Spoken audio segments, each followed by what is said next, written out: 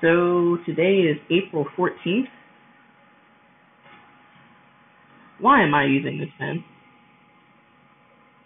Yeah, it's okay.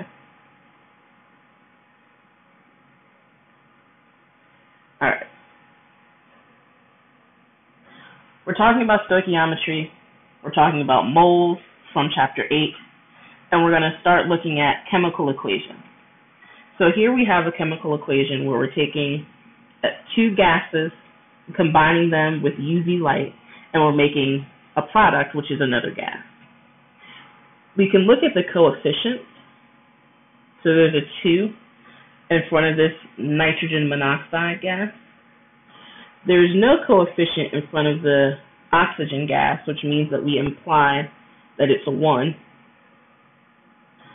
There's a 2 in front of the nitrogen dioxide gas. Don't forget your naming, y'all. And we can interpret those coefficients as number of molecules. So maybe two molecules of this gas plus one molecule of oxygen gives you one molecule of product. We can also interpret the coefficients as moles. And we can say two moles of nitrogen monoxide combined with one mole of oxygen gas will give you two moles of nitrogen dioxide gas. So we're going to go back to chapter 7 stuff with balancing equations. We're going to pull in chapter 8, moles, and we're going to start doing more conversions. So all of that stuff that we learned, you're going to need it. So if you have trouble with balancing equations, if you have trouble with um, doing conversions and writing unit factors, please, please, please use office hours, ask questions in class, email, all that stuff.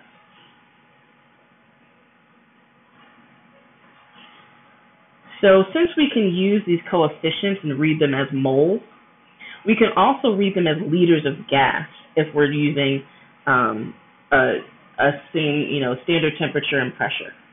So for this, since everything is a gas, we can also say instead of two moles, we can say two liters of the nitrogen monoxide gas plus one liter of oxygen gas yields two liters of your product. That's only with gases.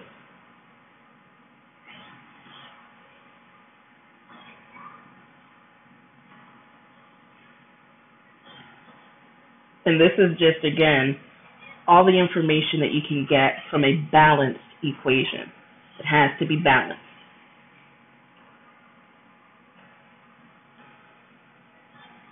We can write mole ratios to look at the different um, relationships between the reactants and the products. But you have to have a balanced chemical equation. Cannot stress that enough. If it's not balanced, then you're not going to be able to use it. Okay? So we can interpret these as moles or as liters if it's gas. With gas, everything has to be at the same temperature and pressure, but don't really worry about that. Just know that if you see gas, you can represent it as liters. Oops. We missed a little something. So we need to talk about writing mole ratios. I'm going to go back one slide.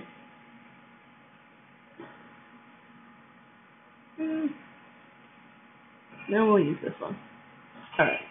So let's say that we want to relate the number of moles of nitrogen monoxide to the number of moles of nitrogen dioxide gas that's being produced.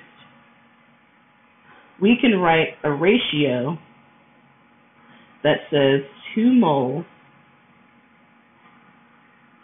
of nitrogen monoxide gas for every 2 moles of nitrogen dioxide gas. That's a mole ratio. We can do another mole ratio to look at oxygen gas and the nitrogen dioxide gas. That would be one mole of oxygen over two moles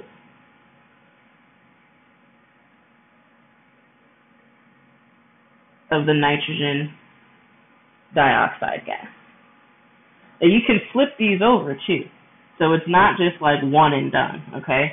We're going to use these mole ratios to convert moles of a given substance to moles of an unknown substance. So we're going to practice that now.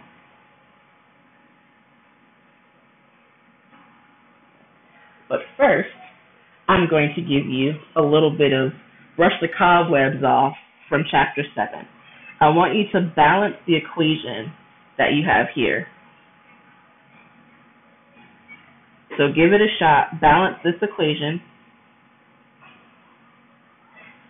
I'll give you a couple minutes to do it, and then I'll have you put your coefficients in the chat box.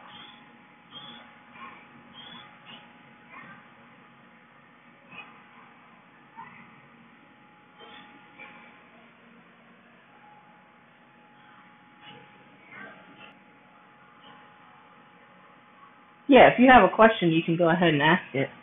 Or if you have the answer for what the coefficient should be for each of the um, each of the compounds, then you can just type it into the chat box.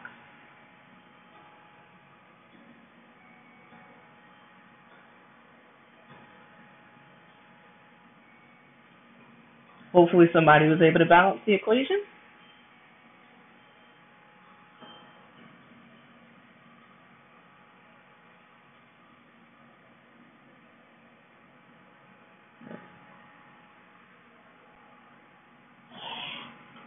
I'm gonna write out what's um what I got here. Let's get the cobwebs off, y'all. Good morning. So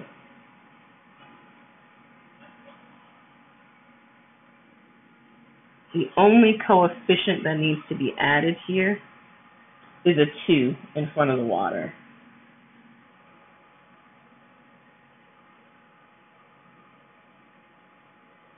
So refresh yourself on uh, how to balance equations and make sure that you can do that.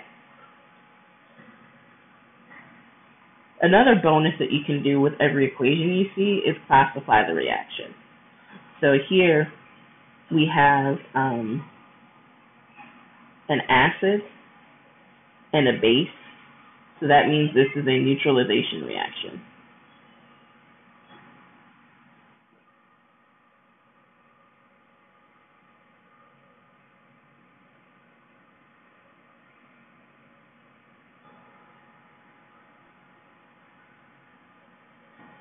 So don't forget those things, you guys.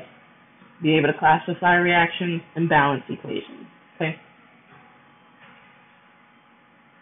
Now we're going to use this balanced equation to answer the question, how many moles of water are produced in the balanced equation? So there's two moles of water produced.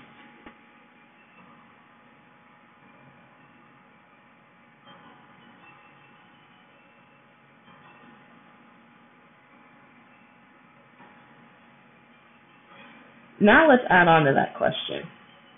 Let's write a mole ratio that relates the number of moles of water produced to the amount of magnesium hydroxide needed.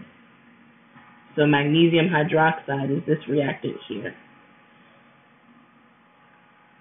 If I were going to write a mole ratio that relates the magnesium hydroxide and the water, can someone give me an example of what that would be? Remember, we use the coefficients, and we're talking about moles here.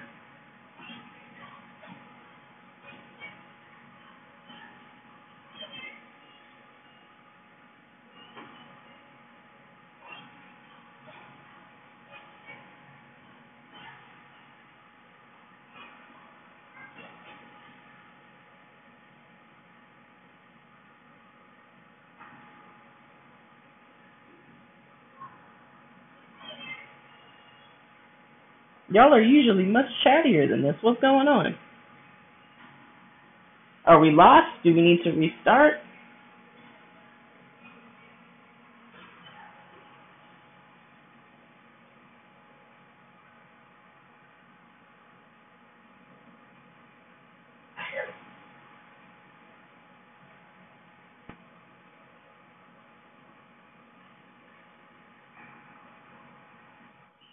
Okay. Don't just be quiet, because I'm just sitting here talking to myself. That's not helpful. I know how to do this already. Okay. So instead of, let's go to the whiteboard. Let's go to the whiteboard. So let's say that we have this reaction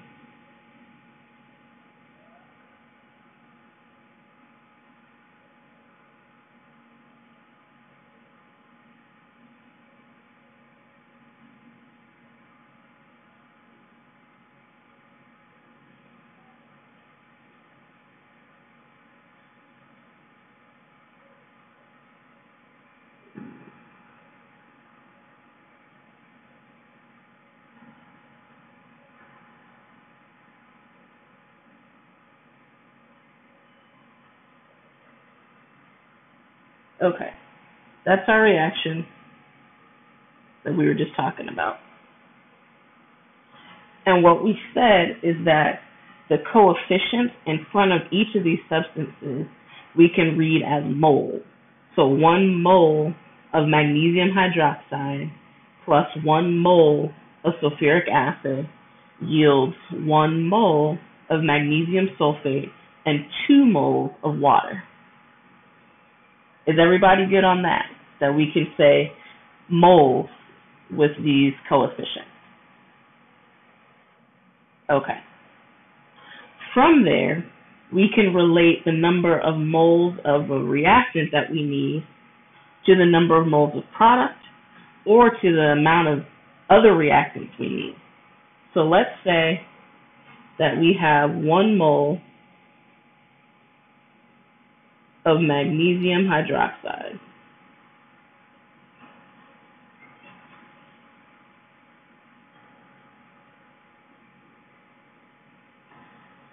If I have one mole of magnesium hydroxide, according to the equation, I will make one mole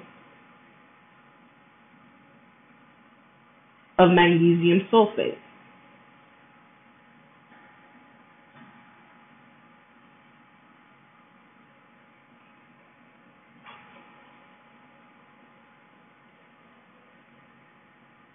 That's all a mole ratio is.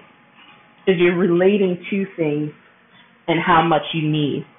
So if I have one mole of magnesium hydroxide, like in this equation, that means I can make one mole of magnesium sulfate. The reverse is true too. If I made one mole of magnesium sulfate,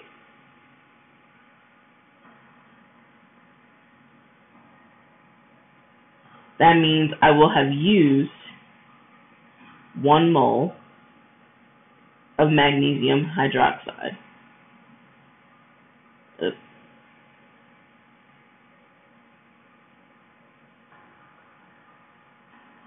That's supposed to be a G. So we're simply reading the different um, coefficients from the reaction and writing mole, okay? So let's say that I wanted to relate uh, I'm gonna start typing now, which makes me sad.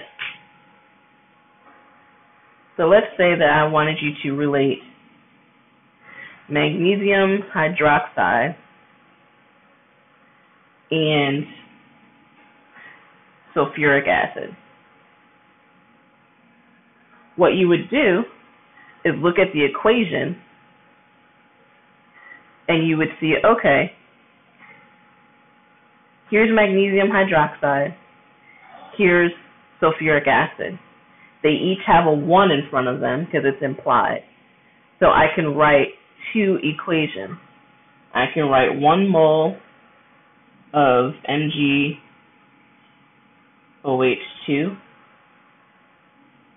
over 1 mole of H2SO4. And I can flip it. 1 mole of H2SO4 over 1 mole of magnesium hydroxide. So we're just relating the coefficients and the substances that they're associated with. So let's try one.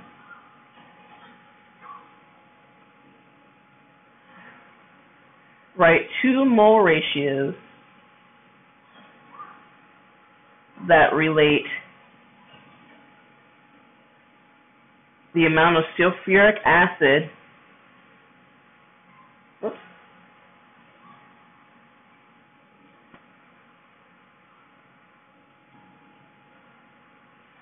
with the amount of water produced.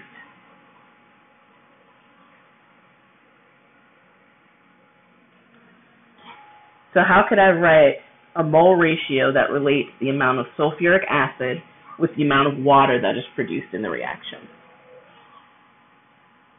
Using the same example, you go to the the balanced equation and you use those coefficients. So try it. Give me one mole ratio that relates the sulfuric acid to the water.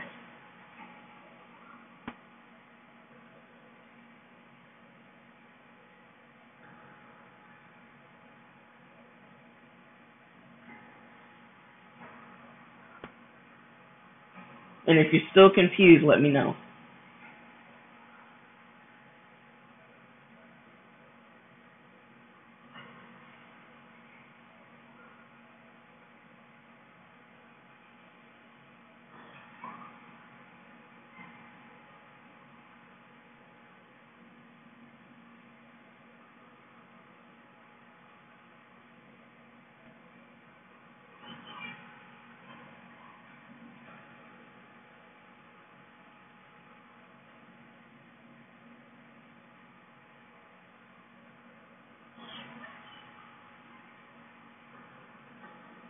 Are we still lost?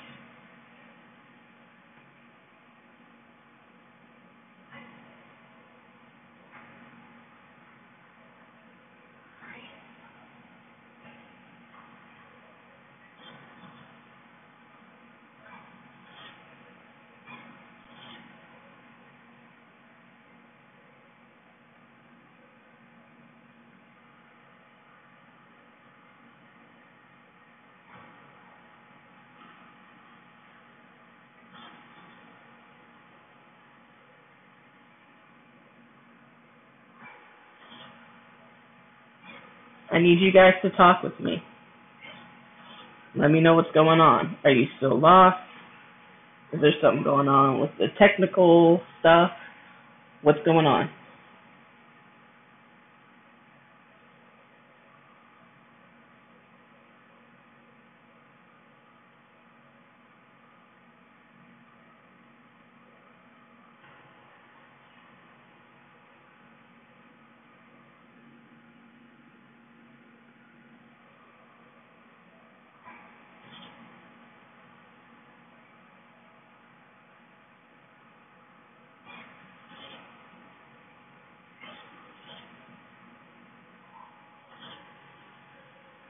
Okay.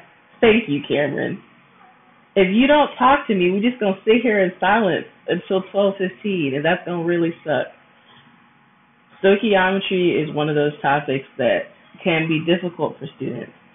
So we have to take it slow, but I can't know what's going on if you don't talk to me. So if you're still lost, that's okay. Just tell me. How many people still feel lost? You can raise your hand.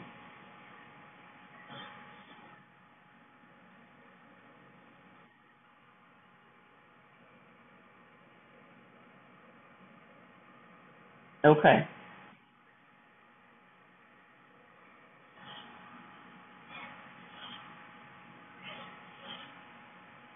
All right.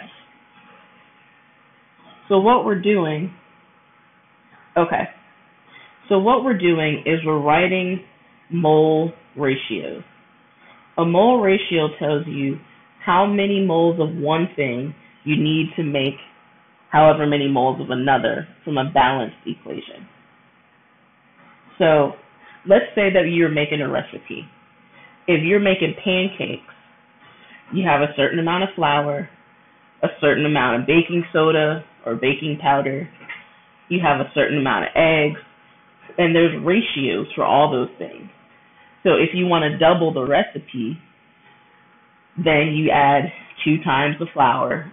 Maybe you don't double the leavening because there's a different relationship between the amount of flour and the amount of baking soda or baking powder you need. So if you think about the chemical reaction as a recipe, and in this recipe, for every one mole of magnesium hydroxide you have, you're going to make one mole of magnesium hyd- of sulfate and two moles of water. Yes. Wesley, I'm sorry. It probably did take a long time to type. But yes. So for relating the amount of sulfuric acid to the amount of water produced, you go to sulfuric acid and you see, okay, here's sulfuric acid. It's got a coefficient of 1. So you can write 1 mole H2SO4. I don't know what I just did.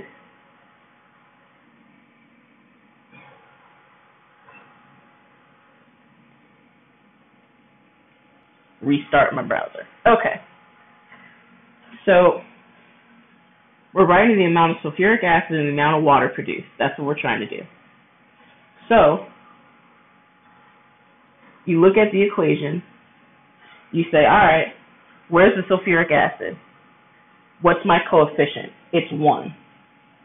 So I can write 1 mole of H2SO4. For the water, you look at the water, okay, that coefficient is 2. So I can write 2 mole of water. That's 1 mole ratio.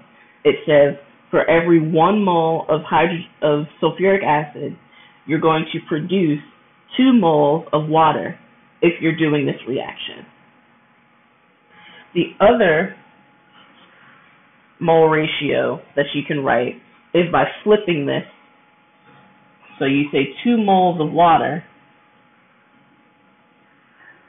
You produce 2 moles of water for every 1 mole of sulfuric acid that you have. Does that make more sense? You can think about it like a recipe. Okay, your stream is going in and out. So it'll be on YouTube. Um, and again, this is a chapter that we're going to take slowly.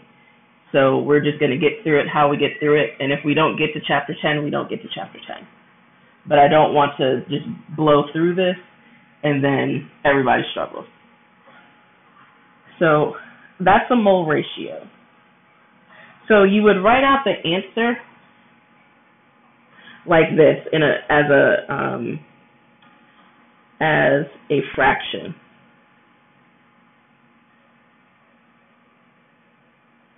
So you would put the one mole. I'll try to write it.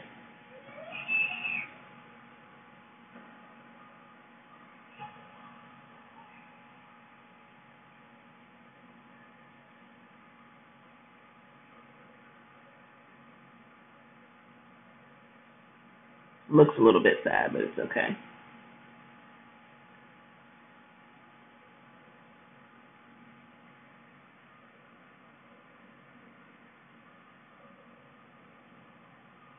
So that's an example of a mole ratio. You write it like a fraction. So you put the one mole of H2SO4 on top, two moles of water on the bottom, and then the second mole ratio is just flipping it. So you put the two moles of water on top and the one mole of H2SO4 on the bottom. How many people still feel lost?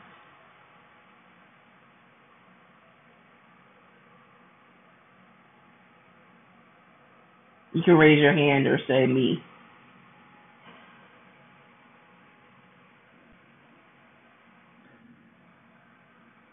Okay, you understand a little bit more now.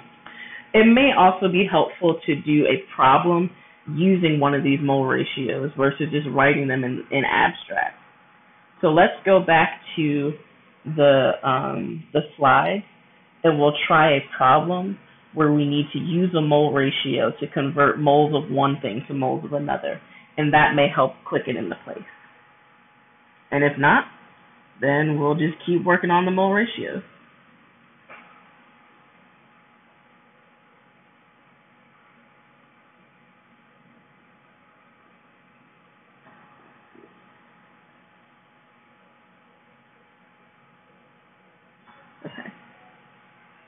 Here we go. So, with a balanced chemical equation, we can use mole ratios to convert the amount of reactant to the amount of product or figure out how much, you know, if we want to make X amount of product, how much reactant will we need? So you can use those mole ratios as um, unit factors. So let's say that we have five moles of nitrogen monoxide. Okay. The question that I'm going to ask is how many moles of nitrogen gas did we use to make that? So to rewrite the question,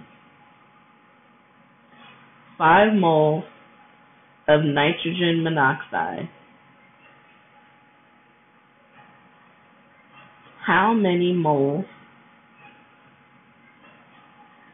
of nitrogen gas? The first thing you have to do is write a mole ratio. And if you rewrite the question like this, where you have your given information on one side, on the left side to be specific, and your unknown on the right.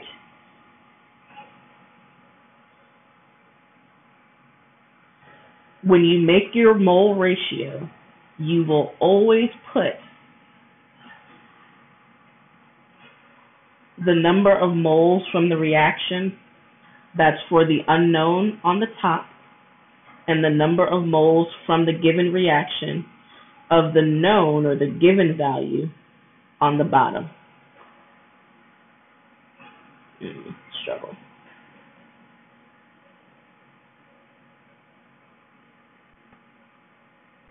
So the mole ratio for this one, our unknown is nitrogen gas. So we go to the equation. There's a 1 there that's implied. So the top part of our mole ratio is going to be one mole of nitrogen gas. On the bottom of our mole ratio is going to be the given.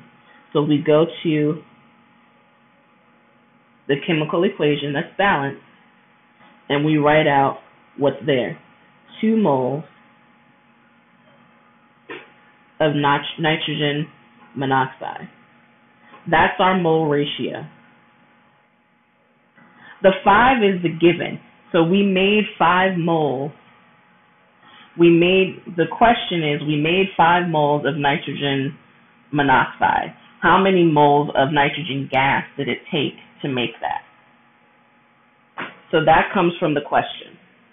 Okay? Then your mole ratio comes from the equation, the chemical equation. Once you have your mole ratio, then you can take your given information, which in this case was 5 moles of nitrogen monoxide, and you can multiply by your mole ratio. You get rid of the nitrogen monoxide, and you're left with moles of nitrogen gas.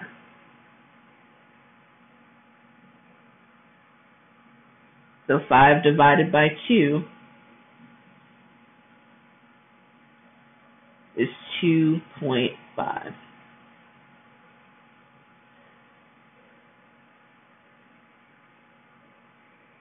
So that's kind of how you use the mole ratios. So you figure out a mole ratio between the two substances in your chemical equation, and then you multiply by your given information. Does that help make a little bit more sense with what the mole ratio is and how to use it? Okay, I like the exclamation point. So the question, I didn't write out a full question here, but if I did, Yao, the question would be five moles of nitrogen monoxide were produced. How many moles of nitrogen gas were required to produce this amount of nitrogen monoxide gas? So that would be an example of the question. Then you take that given information and you rewrite it like I did here. Where you have your given information on the left and your unknown on the right. So we were given information about the nitrogen monoxide gas. That's our given. We know that we made five moles of it. What we need to know is how much nitrogen gas did we use to make that amount. So that's our unknown.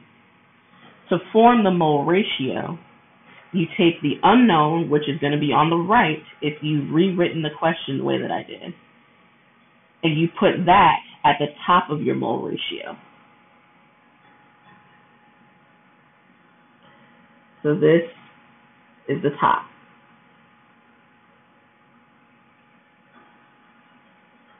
And hopefully the colors will help. Okay. So that you see where it comes from. Oh, and then I circled the wrong thing. Doggone it. Wrong color. So this should actually be the nitrogen over here. What we're going to do for the other is blue. So what we already know needs to go on the bottom, and that's where it is for our mole ratio. So if you rewrite the question like I did, we have the given on the left, the unknown on the right. Then on the right, whatever you have for your chemical equation, whatever coefficient, that's going to be on the top. For your given, whatever is in the equation is going to go in the bottom.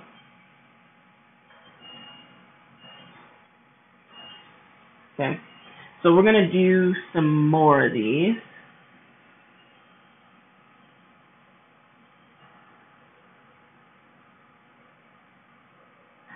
Let me look and see what I have.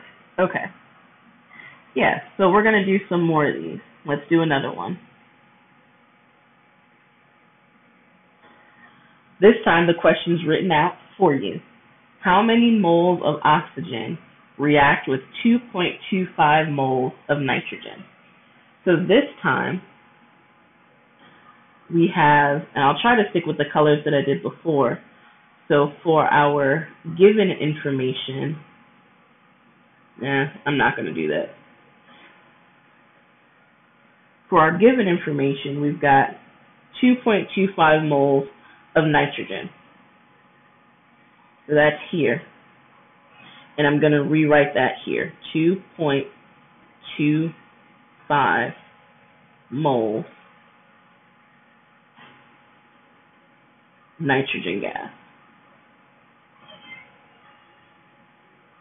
The question is, how many moles of oxygen are needed to react with that? So our moles of oxygen, that's what we don't know. Big fat question mark.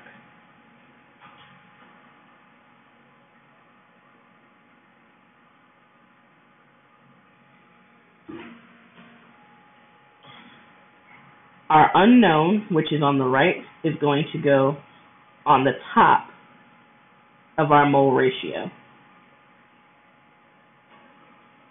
So we look at the equation, we see there's a 1 there in front of the oxygen gas. So you write 1 mole of O2.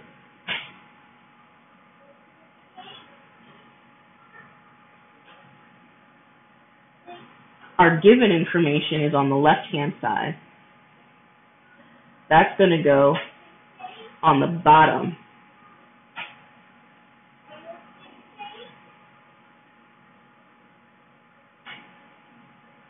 So we look at the equation. There's a 1 in front of the nitrogen gas. Implied, of course.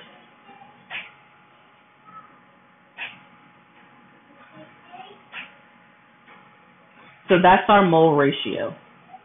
We've got one mole of oxygen gas that's needed to react with every mole of nitrogen gas. Are we good so far?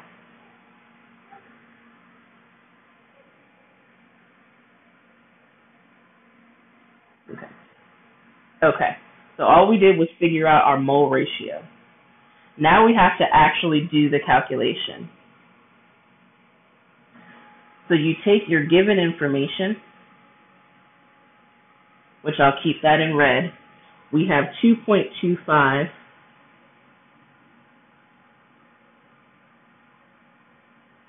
moles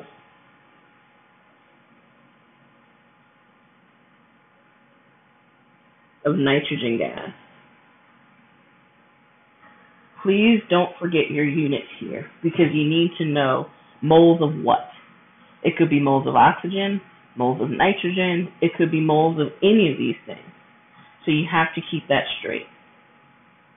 When you do the multiplication, you can get rid of the moles of nitrogen. So that way, all you're left with is moles of oxygen gas.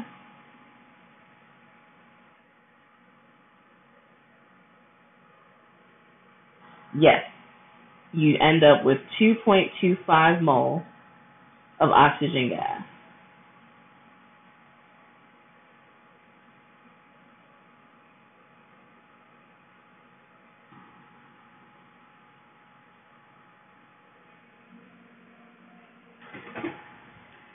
So that's all mole ratios are.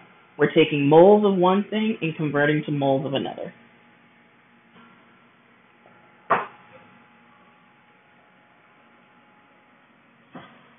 Let's do another example. I think I have another one. Okay. How many liters of nitrogen monoxide? What happened to the 2NO? We don't care about it.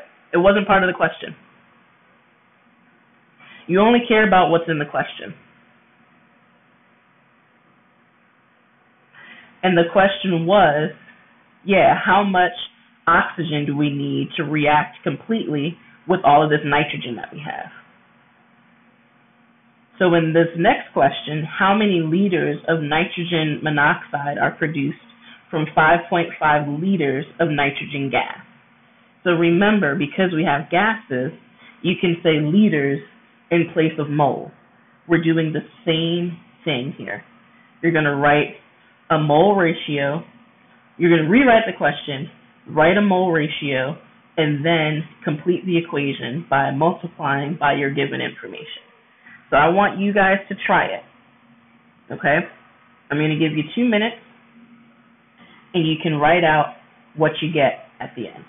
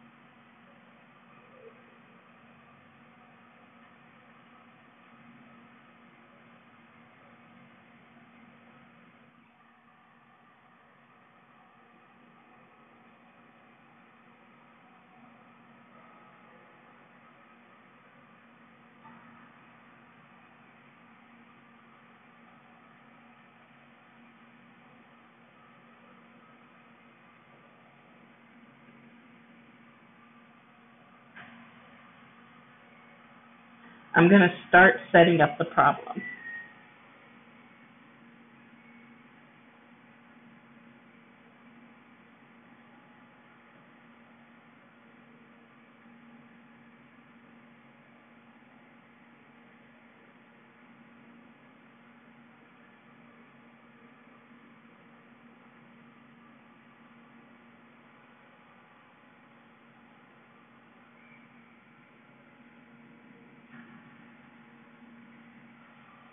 Mm.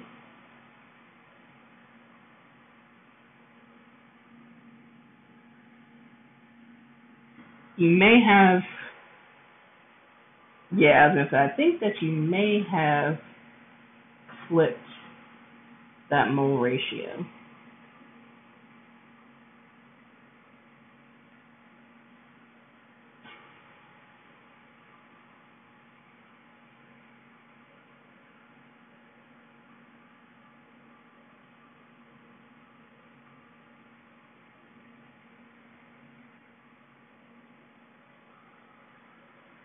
Yes. So I got 11. Show you how.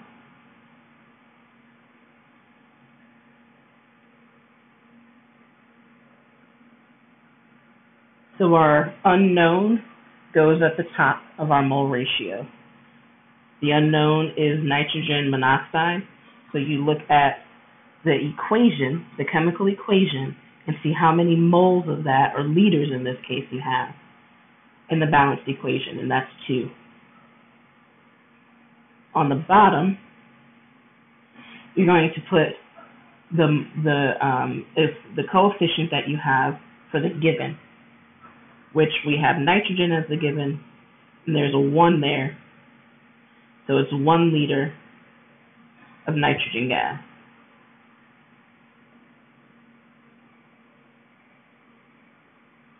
We fill in our given information, and that's what we're going to multiply by.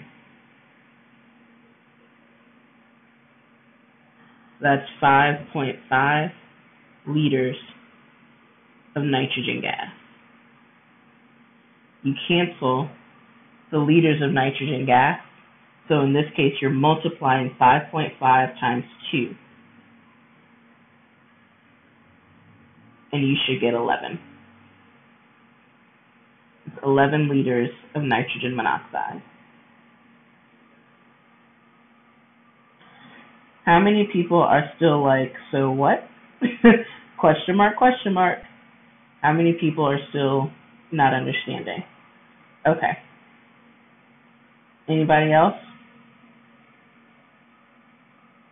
Don't be shy. Yeah. So the two liters on the top comes from the reaction. So let's walk through it again. I'm going to clear this and we'll walk through it again. We read the question.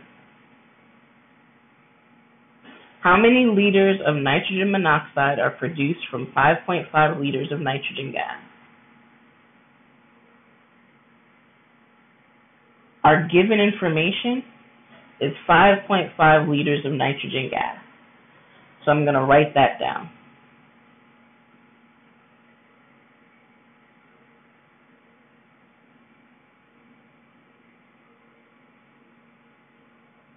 The question is asking how many liters of nitrogen monoxide are produced. So that has to be our unknown.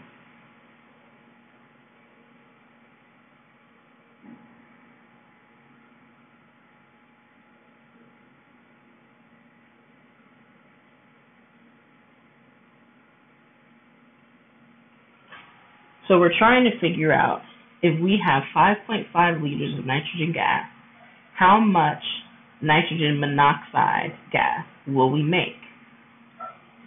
The first thing you have to do is write your mole ratio. The unknown goes on the top. In this case, our unknown is nitrogen monoxide. So we look at the chemical equation for how many liters of gas are produced in the balanced equation. And that's two liters of nitrogen monoxide. Are you with me? You see where that two came from?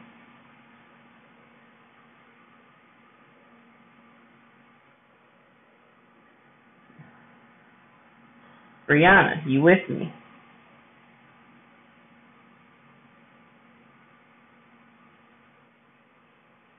Alex, what about you?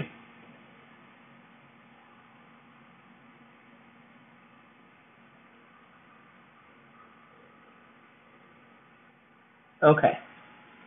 Now, we need to fill in the bottom of our mole ratio.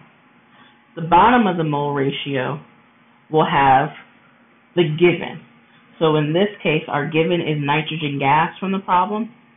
So we look at the coefficient for the nitrogen gas in the balanced chemical equation. There's nothing in front of that nitrogen gas, so you assume that it's a 1 and we're doing liters because it's a gas. So one liter of nitrogen gas is what we have in the balanced equation. Now this says that there's going to be two liters of nitrogen monoxide produced for every one liter of nitrogen gas that we use as a reactant. We don't care about oxygen because we don't have information on that. So just assume you have all the oxygen in the world to do this reaction. Now we've got our mole ratio. Now we need to use our given information, which is the 5.5 liters. So we need to multiply. We've got 5 point, come on, 5.5 liters of nitrogen gas. You're going to multiply by the 2 and divide by 1. With our units, we're getting rid of the liters of nitrogen gas so that we are left with liters of nitrogen monoxide.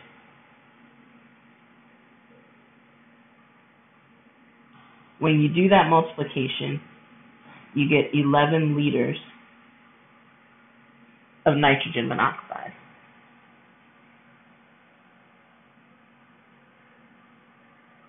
Yes, no question.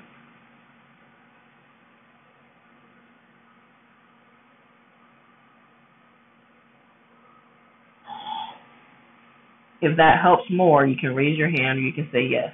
Okay, you get it. Good. Everybody else, how we feeling? Okay. Now, that means we got to do one more question just to make sure, okay? So I'm going to go to a blank board and I'm going to give you a different question. So we'll still use the same equation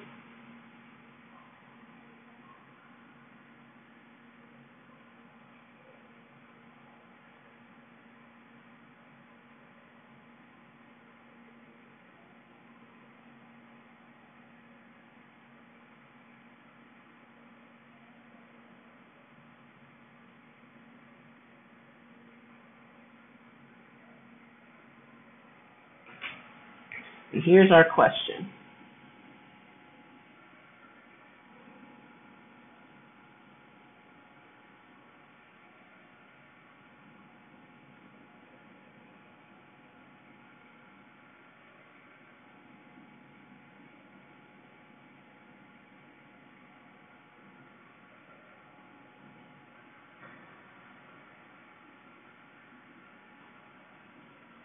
So the question is, how many liters of oxygen gas are needed to make 2.4 liters of nitrogen monoxide? Give this question a shot.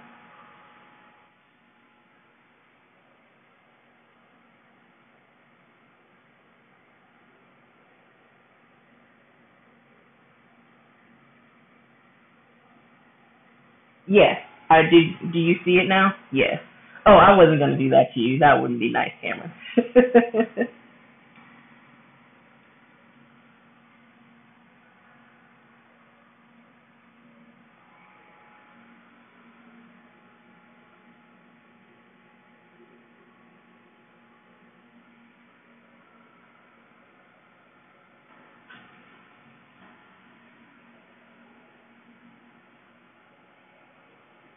I'll give you a minute to work on that and then I will put up my work for how to figure it out.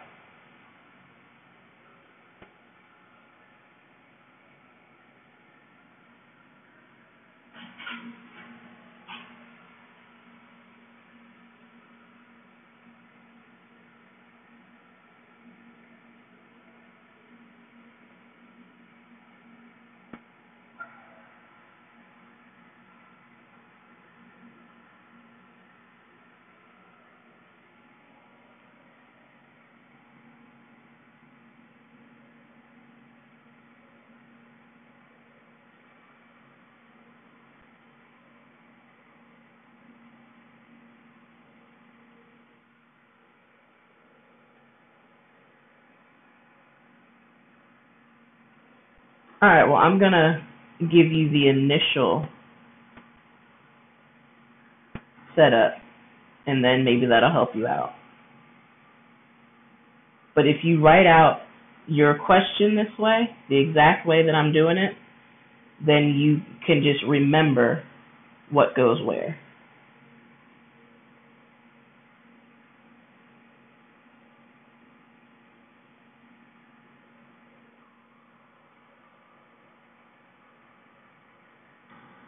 Cameron, your remember the coefficients here.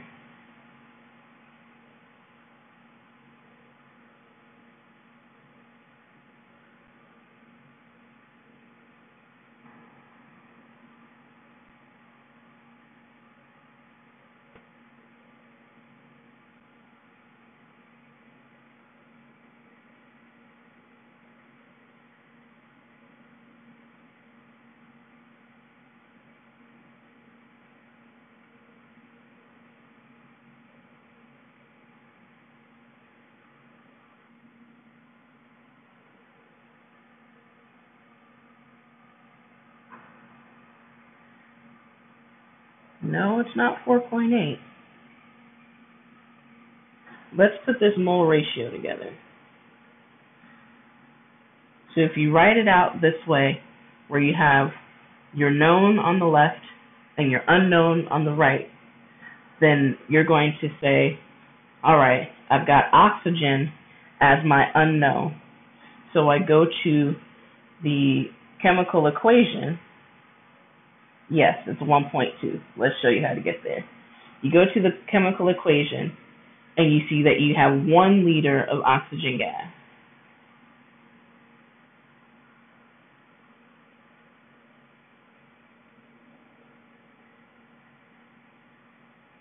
On the bottom, you're going to put the information from the chemical equation regarding your given information. Oh, whoops, I circled the wrong one. Eh, not that. This is the one we want. And no. There's a 2 for that coefficient. So that's what you write in the bottom. So the right side, the unknown, always goes in the top of the mole, mole ratio. And the other one goes in the bottom.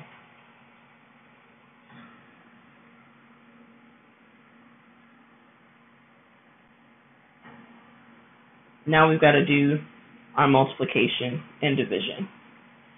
So you've got 2.4 liters of NO. You're going to take that and divide it by 2 when you put it into your calculator. You don't have to use a calculator for this. The numbers were purposefully easy but you get rid of the liters of nitrogen monoxide because they cancel, and you're left with liters of oxygen gas. So that your answer should be 1.2.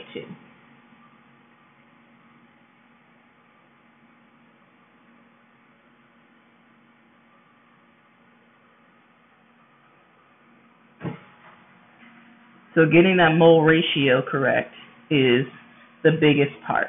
All right. We're going to do one more thing. We're going to leave the mole ratios on the table for right now. We're going to quickly go over um, percent yield because we're going to be doing that quite a bit too. So let me go back over.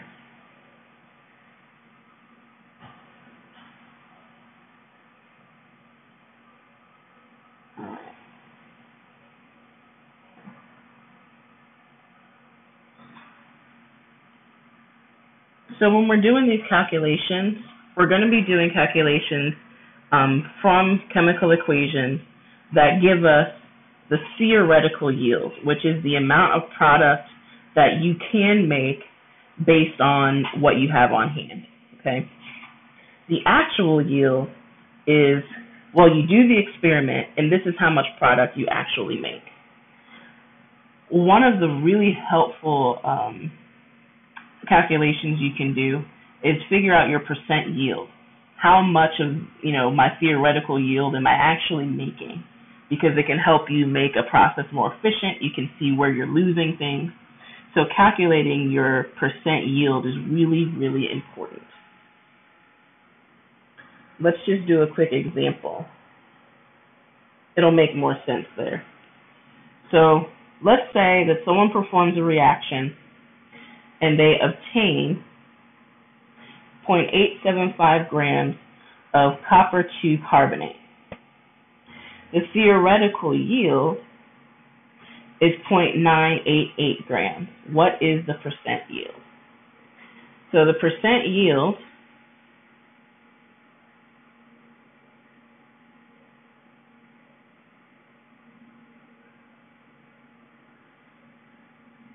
is going to be equal to what you actually did in the lab. So you did this experiment, you weigh your product over your theoretical, which is the types of calculations that we're doing right now. Those are the theoretical, the calculations for the theoretical yield.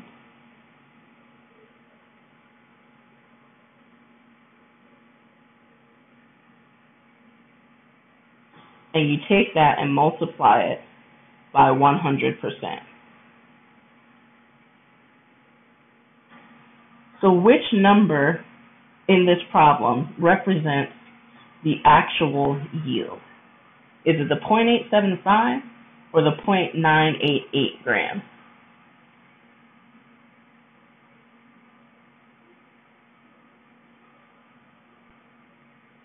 Which one is the actual?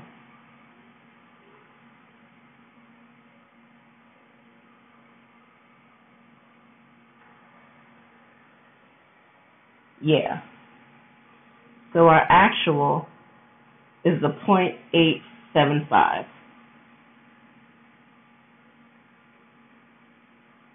And the hint here is that, you know, they obtained it. So you're going to see something where so and so performs the reaction and obtains, or the reaction yields. You're going to see some kind of clue in the text that tells you this is what was actually done. That leaves, by process of elimination, the 0.988 grams as the theoretical.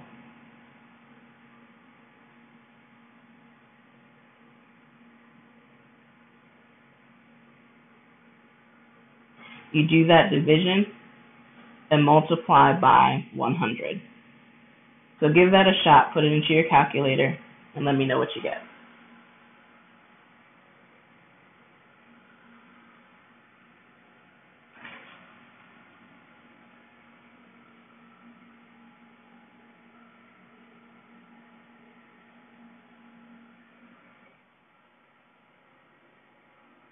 Yeah, you didn't multiply by 100.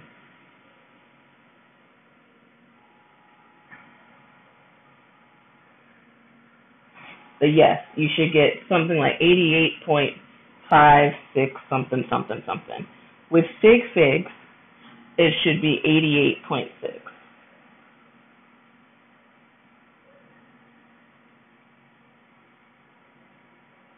Yeah, it's all right. So in, in an exam setting, let's say that you put that 0.8856, right? I would probably take off a point for that because you knew what you were doing. You just skipped a step on your calculator. If you wrote out what I wrote out here, but instead of writing 88.6%, you wrote the 0.88 or whatever. Oh, there we go. My bad. I muted my audio by accident. Thank you. So, yeah, if you put that 0.8856, let's say, instead of the 88.6, but you wrote out the equation the right way, you would only lose like half a point to a point because that was just a slip of the calculator. What I really care about is showing me the equation that you understand how to get there. We all make mistakes. You fat finger, you push something wrong. Like I hit the F4 key by accident, just trying to hit the 4, and that refreshed my browser. I'm not going to take off a bunch of points because of that. What I care about is that you understand, oh, it's percent yield. I know that 0.875 is the actual because that's what's been obtained. And the theoretical yield is 0.988. I care about that concept more than I care about the exact right number. And it's the same thing for the problems that we're going to be solving. I care more that you get the mole ratio right, that you're using the correct molar mass. Those kinds of things are far more important than the actual number at the end. The number at the end is important, especially if you're trying to do an experiment. But you have to understand the process. So when you're doing your homework for this chapter and when you're doing your exam, make sure that you show me your process. The more of your process I see, the more points you can get, even if you have the wrong final answer. So we're going to stop here. We've got three problem types that we need to cover over the next two class periods. So that'll be Thursday and then Tuesday of next week. So we're going to try to do two problem types on Thursday. We'll do one problem type on Tuesday of next week and try to work in some practice for all three problem types. That's the game plan. I'm going to give you two questions for your homework. Um, we didn't get as far as I wanted to get today, so I have to revamp that because we haven't gotten to um, what we need to. But that's all right. So I will post the homework. Also, I'll say again, there was a typo on the homework that I just caught um, last night for chapter eight, the um, the third problem set. So I will just grade it accordingly. A lot of folks did not hand it in. You still have time. You can. You'll lose a couple of points, but I would advise that you do because points is better than no points. So if you have a question about it, you can let me know. Yes, so I do give feedback on the homework. I put it into Blackboard, so I'm not sure what it, I can probably look at the student view to tell you how to look at that. But for each homework and well, I I don't give feedback for exams. That's too much. But for each homework, you get feedback on what you got wrong. So yes. And I will also for chapters six and seven and not eight yet, but I will be posting the answer keys to these as we get closer to exam four because it will help you with studying so you can revisit these questions as well. But while they're still up and available for credit, I'm not posting the answer key. Hopefully, y'all understand why. so, if you have any other questions like that, let me know. Otherwise, this is it for today. I'll post that revised homework and I'll put the video up for this as well.